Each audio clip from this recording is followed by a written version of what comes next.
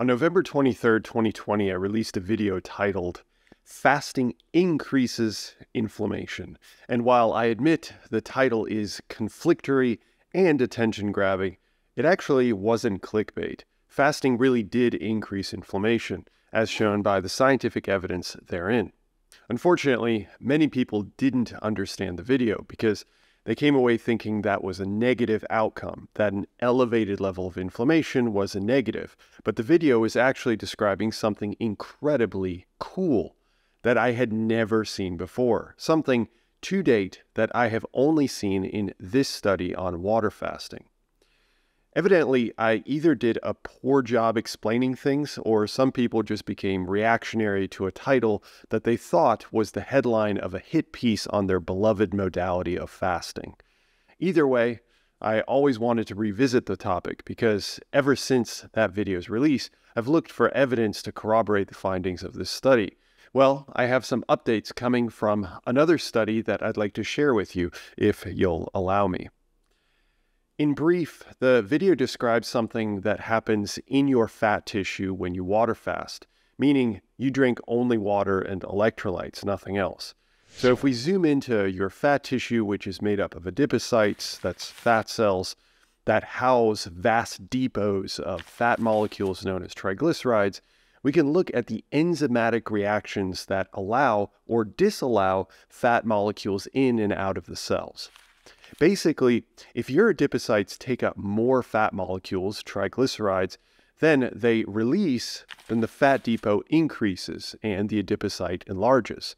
If this happens millions of times over, the fat tissue across your body enlarges and we become fatter. Pretty simple.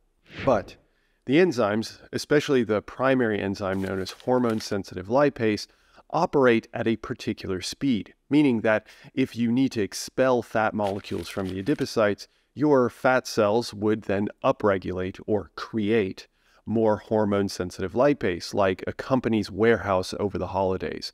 As demand increases, more workers need to be present to work at maximum capacity to ship out the packages as quickly as possible. The warehouse is the adipocytes, the workers are the enzymes, and the packages are the triglycerides.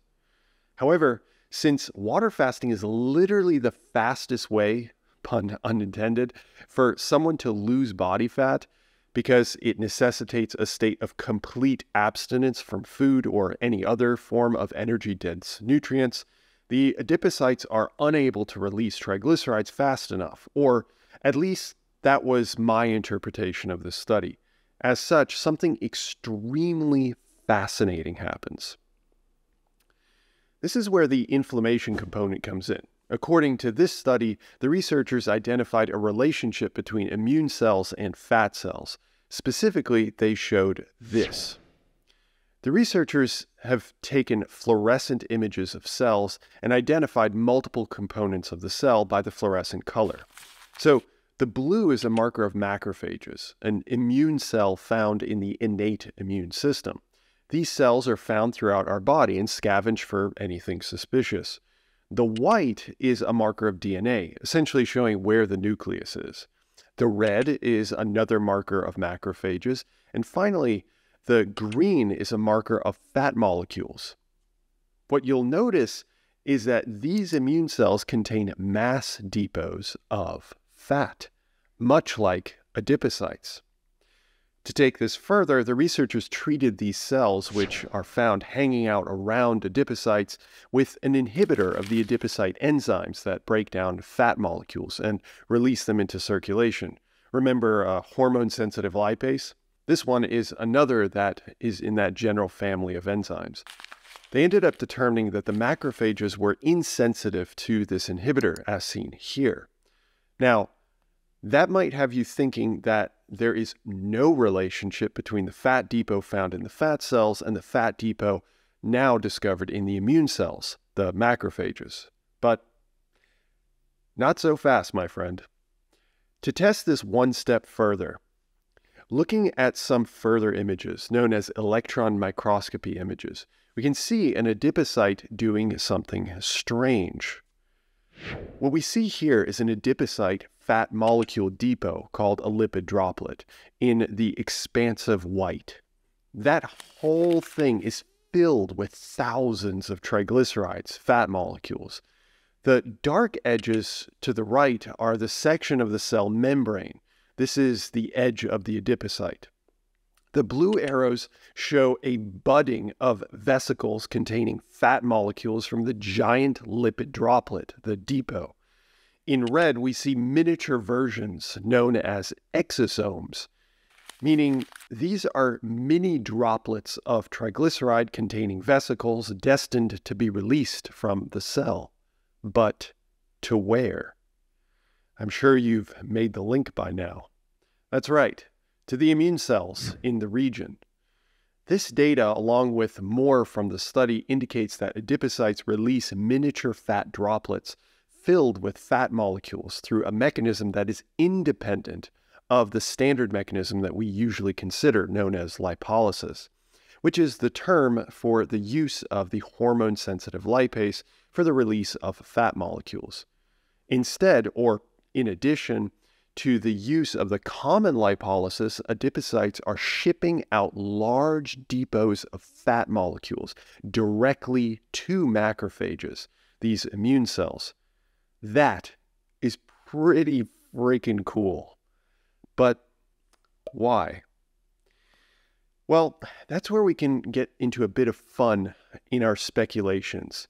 My interpretation, if we return back to the water fasting study, is that macrophages help in the breakdown of fat depots because the adipocytes are struggling to dump fat molecules quickly enough to feed the system, meaning the rest of the body. Remember, much of the fat molecules used for energy during a fast come from your adipocytes, dumping fat into the bloodstream to be sucked up by the other cells of your body since blood glucose levels are low. In this study, there is a little bit of data on that. Looking again at electron microscope images, we can see a macrophage clearly displayed. The dark splotch in the middle is the nucleus of the cell, and the white arrows are indicating triglyceride filled lysosomes. If you aren't familiar with the lysosomes, they're a critical part of the autophagy pathway, and allow the cell to degrade, break down large groupings of molecules and organelles. So, the reason I mention an increase in inflammation is multifold. One, the number of macrophages, inflammatory cells, when activated, are elevated in the fat tissue of the people who are water fasting, as seen here.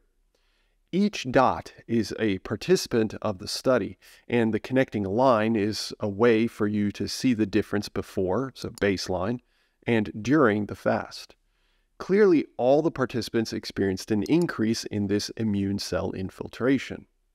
Additionally, multiple inflammatory markers like interleukin 10, C reactive protein, TNF alpha, and interleukin 6 all increased with fasting. So, yes, fasting increased inflammation.